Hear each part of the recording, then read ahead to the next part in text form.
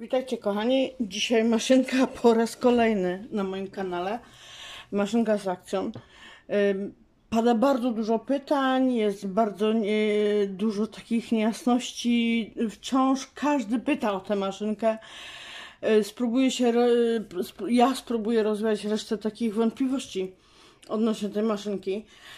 E, Rzetnąco to wszyscy wiedzą, ale teraz znowu padają pytania tłocząco. Mm, Padają pytania, jak używać folderów, co znaczy tłoczyć. E, Bardzo dużo pytań mam odnośnie tej maszynki. E, Ja nie jestem jakimś super znawcą tej maszynki, ale ja ją biorę bardzo na logikę i mogę powiedzieć, że wiem o niej prawie wszystko jak jej używać, żeby żyła nam 100 lat, że tak powiem, takie teoretyczne 100 lat, jak ją eksploatować, żeby sobie po prostu nie zrobić kuku za jakiś czas. Odnośnie płytek, y, spróbuję Wam wylinkować y, film, jak używać prawidłowo płytek, żeby ich po prostu nie zniszczyć przez najbliższy tydzień, dwa użytkowania. Ja moje płytki Maszynkę mam dwa lata. Jeszcze całkiem niedawno odkryłyśmy z koleżanką, że dziwnym trafem, ale w mojej maszynce płytki są 2 mm, nie 3 i mam dynamiczną górną rolkę. Nie mam statycznej, czyli nie jest unieruchomiona, tylko ja mam rolkę dynamiczną. E, Więc jakiś taki typ mi się trafił na grupie akcją scrapbookingowo. e, e, Patrzyłam też właśnie, żeby dziewczyny miały w miarę podobny, że tak powiem, teoretycznie numer maszynki, kto z którego roku ma, żeby dojść do tego, czy tylko ja mam taką maszynkę, bo płytki mam ewidentnie 2 mm te stare, ale 3 mm właśnie z racji, że mam dynamiczną górną, górną rolkę, to 3 mm płytki wchodzą bez problemu, nie strzela mi nic, nie prycha, nie kicha. Yy, Odnośnie płytek, w, ogóle płytek, yy, użytkowania. Nowi użytkownicy, którzy nigdy w życiu nie mieli do czynienia z e, maszynką tnąco-tłoczącą, e, ulegają przerażeniu, że im coś szczela, że im coś prycha, kicha w tej maszynce, nawet niekoniecznie w maszynce, ale w płytkach. E, tak zachowuje się każda maszynka. To jest tak naprawdę, wydaje nam się, że nasza y, siła, którą wkładamy w tę maszynkę, nie jest adekwatna do tych trzasków i stuków i puków. E, a tam się po prostu przewala w tej maszynce, jakby po prostu łamano komuś kości na, na starym, dobrym kole zębatym. E, Tak to się dzieje. Z czasem zmniejsza się to naprężenie, z czasem te, tych stuków jest trochę mniej, ale powiem Wam szczerze, ja moją maszynkę, bo to nie stuka maszynka, tylko płytki i nawet ja mam takie te stare, pierwotne płytki e, i one potrafią też strzelać w zależności od wykrojnika, jakie używamy. Kiedyś jakby mniejszy problem z tym był, bo nie było AliExpressu. E, Ja pamiętam Big Shota, jeszcze e, Ali, o AliExpressie nikt nie słyszał, wszyscy mieli oryginalne. One były, ja nie powiem, nie powiem że one były standardowe, te, te wykrojniki że one wysokość tego progu tnącego wszystkie miały jednakowe. Wiem, że jakiś czas roz, r- rozpoznawałam firmy wykrojników poprzez ich kolory i to u mnie działało. E, Także każdy nowy użytkownik, który taką maszynkę sobie zakupi i zaczyna na niej pracować, nie przerażajcie się, że ona stuka, puka i syczy do Was. Tak ma być. Także proszę się nie przerażać. Jeżeli maszynka stawia Wam jakiś opór, y, to też się nie przerażajcie. Czasami, y, zanim naprawdę przegwałcicie maszynkę i przekręcicie tę korbkę, że wejdzie Wam ta płytka, ta kanapka, zastanówcie się pięć razy, czy oby na pewno tego chcecie. Ja, jeżeli nie wchodzi mi y, tak, wiecie, nie mówię po maśle, ale jakby za takim lekkim szturchnięciem i to nadal nie chce mi wchodzić, nie cisnę. Może dlatego maszynki bardzo długo mi służą. Y, Są praktycznie niezniszczone i nic się z nimi nie dzieje, bo ja po prostu nie robię nic na hama. Nie cisnę, nie popycham, nie wpycham, nie dokładam y, żadnych. Jeżeli wykrojnik mnie nie kroi, to mówcie sobie co chcecie i myślcie sobie co chcecie, ale to znaczy, że wykrojnik jest do duszy. Niestety, yy, maszynka jest tak skonstruowana, że to ma ciąć. Ona z czasem się wyrobi, że na przykład po środku będzie mniej cięła, a po bokach bardziej jakby, ale to już jest kwestia eksploatacji. Tam stare wygi skrapowe y, będą podpowiadać jakieś tam laminowane kartki, żeby był większy docisk i tak dalej. Można to robić. Ja nie mówię, że nie wolno. Kwestia tego, że dłuższe eksploatowanie, możecie sobie takie coś zrobić, jak wycinacie raz na jakiś czas, nie ma problemu.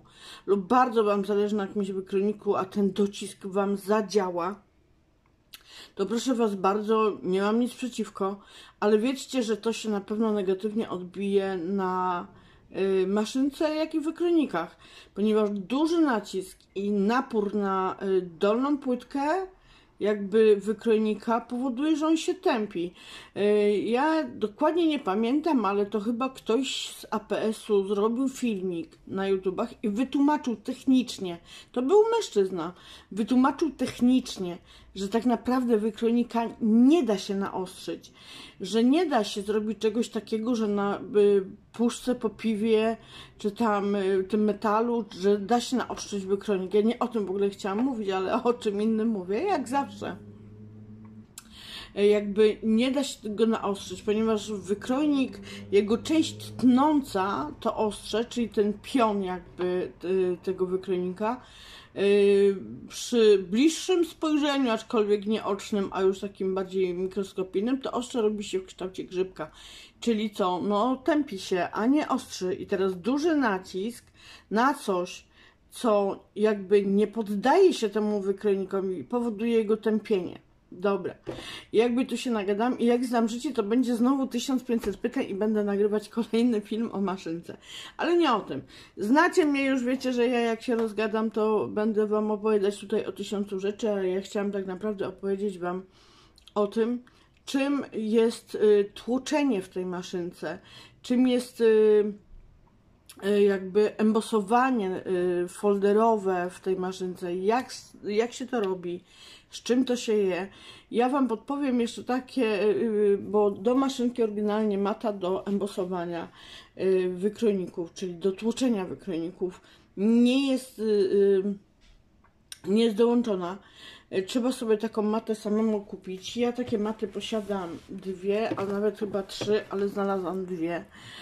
Jedną mam mniejszą, drugą trochę większą. Można sobie to kupić. On moje są staruszki. Już naprawdę są staruszki. Nie powiem Wam szczerze, że nie y, zabiegałam o to szczególnie, żeby je y, szorować. Boję się, że jak zacznę je myć w jakichś preparatach, to ta guma mi się po prostu skruszeje i nie ruszam. One pierwotnie niczego, o krzywdy mi nie robią żadnym skrapką, więc też nie, nie ten, nie, nie jakby nie ruszam. No celowo tego nie robię. Przyjdzie czas, po prostu kupię nowe i tyle.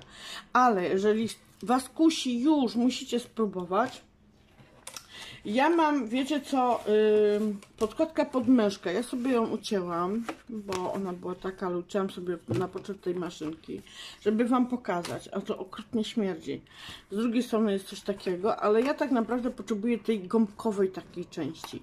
Co prawda, używając jej, żeby wytłoczyć, wykronik mi się wbija w to, ale Cóż robisz człowieka, jeżeli y, siła wyższa nadchodzi i trzeba zrobić to już i teraz, a nie mamy maty tłuczącej? Więc taka podkładka pod mysz, gdzie ta część jest taka gąbkowa, jak najbardziej, ja Wam pokażę jak to zrobić. Pokażę Wam też o co chodzi z tym tłoczeniem. Niektóre wykrojniki, ja, wam, ja akurat wiecie co, wziąłam sobie jeden, który bardzo lubię i którego tłoczenie jest bardzo widowiskowe. To jest wykrojnik z Ali, zamiennik pewno czegoś tam, ale czego nie mam tego pojęcia, ten wykrojnik jest mega, bardzo długo ze mną. I teraz chciałabym Wam wyjaśnić, nie chciałabym Wam tego palcem pokazywać, bo znowu jakaś menda za przeproszeniem stwierdzi, że mam brudne paznokcie, a ja mam po prostu je chore. Także wybaczcie, mam chore paznokcie.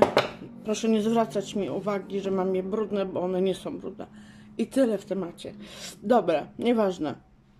Zauważcie, ja spróbuję Wam tu pokazać, zauważcie, że ten wykronik ma części y, tnące, czyli są te ostrza, ale tu w tych kwiatkach są jeszcze dziurki.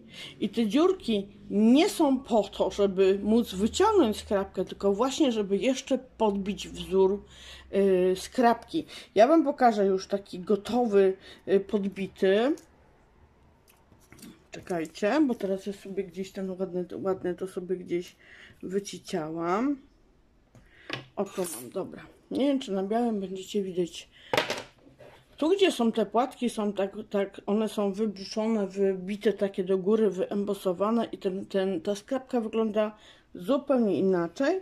Gładkie, bez embosowania wygląda mniej więcej coś takiego, że te kwiatki są beznamiętne, proste po prostu, nic tu na nich nie ma. Dopiero przy podłożeniu, i to jest podłożona ta, mm, ta myszkowa mata, wybrzuszają nam się te kwiatki, te dziurki, które są w tych kwiatkach. I to jest właśnie to wytłaczanie. My sobie teraz wytłoczymy.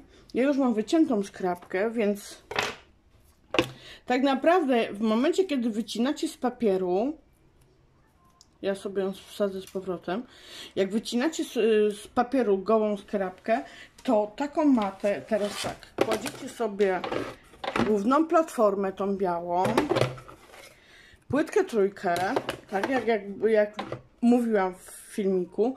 I teraz tak, możecie sobie yy, położyć wykrojnik w ten sposób razem ze skrapką, żeby widzieć, bo wytłoczenie będzie nam wtłaczać. Ja to robiłam, że tą czarną stroną kładłam sobie już na tym wykrojniku z tą skrapką i tu, gdybym dała płytkę znowu 3 y, mm, miałabym za mało, ponieważ zbyt mało elastyczny jest ten y, materiał, a ja go potrzebuję w tą skrapkę wtłoczyć, czyli ta gąbka z tej, z tej maty musi mi się wtłoczyć w tą skrapkę. I ponieważ tu przy tym, to jest wszystko metodą prób i błędów, dziewczyny i chłopaki, to trzeba po prostu wyczuć, y, wyczuć na ile materiał Wam się wtłoczy w tą Y, w tą skrapkę. Więc u mnie ja na pewno, bo sprawdziłam, stąd te nacięcia na tej, na tej, y, na tej macie, sprawdziłam, muszę jednak dać płytkę piątkę, czyli tak normalnie jak do cięcia i sobie przejechać przez maszynkę. No, działa mi. Dobra, muszę ją lekko poprosić o to, żeby... O, ale jak załapie jest ok, nie ma oporu, nie cisnę, wiecie, że muszę już wszedł mi wykrojnik, przeszłam. Nie ma jakiegoś takiego mega oporu. Lekki opór, żeby, żeby weszło jest. Dobra. I to jest na tej macie, no ona mi się będzie wycinała, bo to jest jednak nacisk, a to jest narzędzie tnące. Więc ona będzie mi się na... Czekajcie, bo mi teraz skrapka weszła tak fajnie, że muszę teraz znaleźć coś tu takiego, czym sobie wybiję tą skrapkę, wiecie? O, mam mój kochany szpikulec. Dobrze. O, wyciągnęłam sobie skrapeczkę. Wyciągnę te części, które się wycinają. Tak wygląda już wyembosowana skrapeczka. I to jest to właśnie, to jest to tłoczenie tej maszynki. Nie wszystkie wykrojniki Y, posiadają walory tłoczenia, niektóre są tylko tnące, ale niektóre są tnąco-tłoczące i, i warto tłoczyć, y, bo wtedy te walory, y, walory tej skrapki są o wiele lepsze. Po prostu jakby bardziej koronkowo to wygląda. Czekajcie, wyciągnę tu z tego, bo to jest niewyembosowane i sobie porównacie jak to wygląda.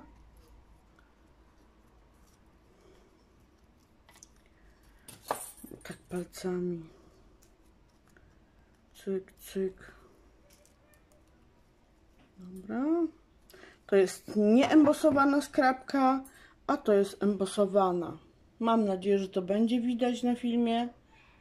Na żywo w każdym razie bardzo widać. Tu macie nie tłoczoną, tu jest tłoczona. Są naprawdę mega różnice. Dam jeszcze bliżej, spróbuję. Wyzumuję się wstanę, żeby zobaczyć, wiecie, żeby sprawdzić. O, widzicie. To jest gładkie, to jest ładnie wyembosowane i to są takie walory właśnie tłoczenia. Ale idziemy dalej. Mamy skrapki i tłoczenie skrapek omówione. Idziemy do folderów. I teraz, moi drodzy, są tak zwane foldery 3D. One są mega, mega y, grube I teraz y, pierwotnie oni też tam właśnie powiedzieli główna platforma, łydka trójka, folder. Ja sobie wezmę karteczkę, czekajcie.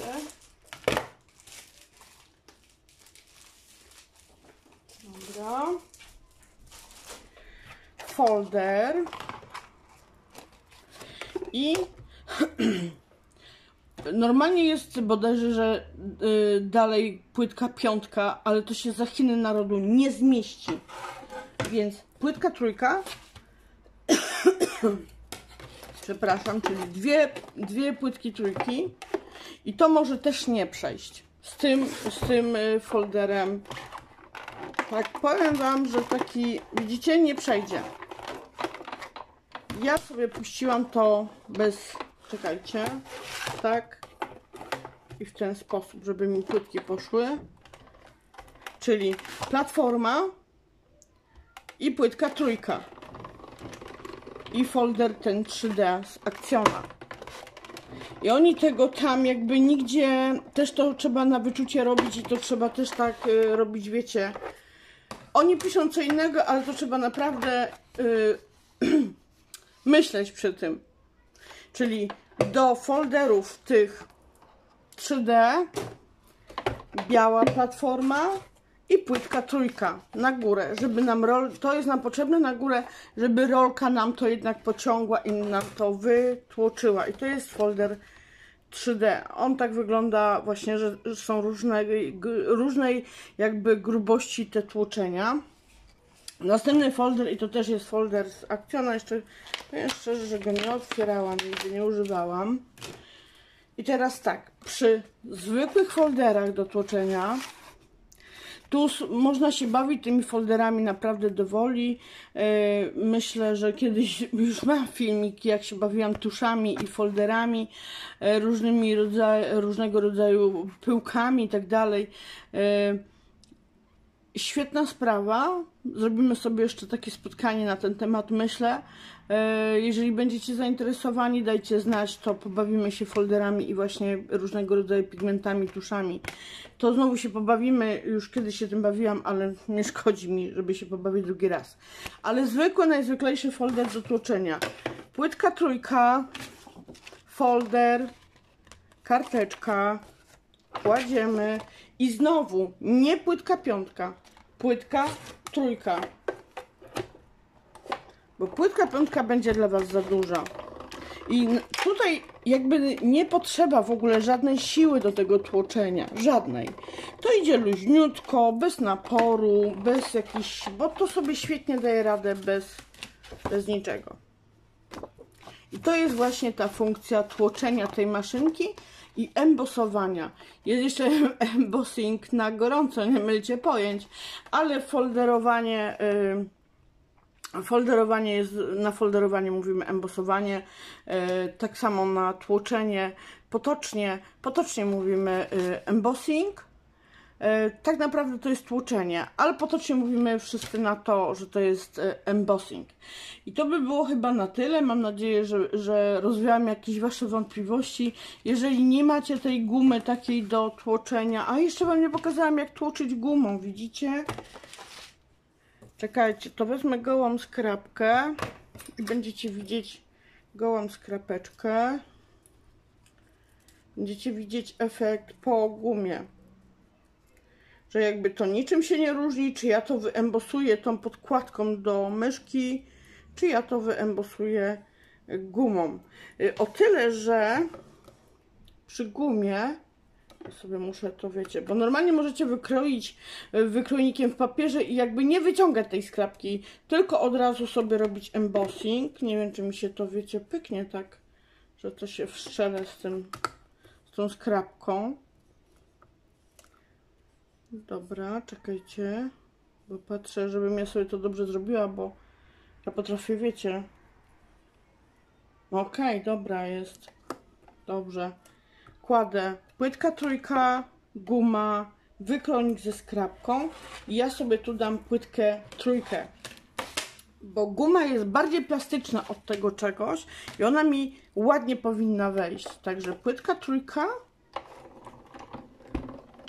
I czasami jest tak, że, że czuć jak ta guma się tam plaszczy, a tu chodzi o to, że ona właśnie się plaszczy, ale ta siła jest na tyle delikatna, że y, nie pokroi Wam wykrojnik y, skrapki. Tutaj jest troszeczkę słabsze to embosowanie, ale powiem Wam tak zrobimy.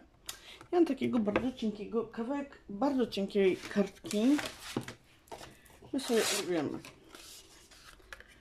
Bo tu potrzebujemy uważać, żeby sobie gumy nie schlastać po prostu. Kawałek karteczki, żeby tą siłę już widzę, czuję większy opór. Mówię, to jest wszystko metodą prób i błędów. Ale tu chodzi o to właśnie, żeby tej gumy sobie nie zniszczyć, nie ponacinać. Tu macie poembosowaną z gumy, tu macie embosowaną z y, tej pianki, więc bądźmy szczerzy, tu się niczym nie różni, aczkolwiek no piankę zniszczycie, gumę niekoniecznie, bo nie ma żadnych nacięć na gumie, także to jest o tyle. No lepiej sobie czasami, jeżeli macie większość wykrojników y, do e, tłoczenia, to lepiej zainwestować sobie w taką gumę oryginalną, i, i mieć. Można dodać więcej tej kartki, to embosowanie jeszcze bardziej wyciągnąć, ale to się, tak jak mówię, to, będzie się, to będziecie musieli się liczyć z tym, że e, tę gumę po prostu potnie Wam wykrojnik. I to by było na tyle, moi drodzy. Mam nadzieję, że rozwiałam Wasze wątpliwości. Jeżeli macie jeszcze jakiekolwiek, piszcie, pytajcie. Także jestem do Waszej dyspozycji e, i tyle. Do zobaczenia za jakiś czas, pewno z nowym doznaniem. Mam ochotę zrobić online e, bigownicę z akcjona, ponieważ jestem lajkiem w tym temacie, bo ja od zawsze praktycznie posiadałam kopertownicę i pudełka i tego typu rzeczy robię na kopertownicę z UR. Nigdy nie robiłam tego na bigownicy, więc stwierdziłam, że chyba zrobię live'a nawet z tym Y, żeby się pośmiać, jak bardzo nieudalnie do sytuacji podejdę. Ale to taki mam plan, a czy tak wyjdzie, nie wiem. Zobaczymy wszyscy w praniu. To by było na tyle, moi drodzy, i do zobaczenia Wam wszystkim. Trzymajcie się ciepło. Pa!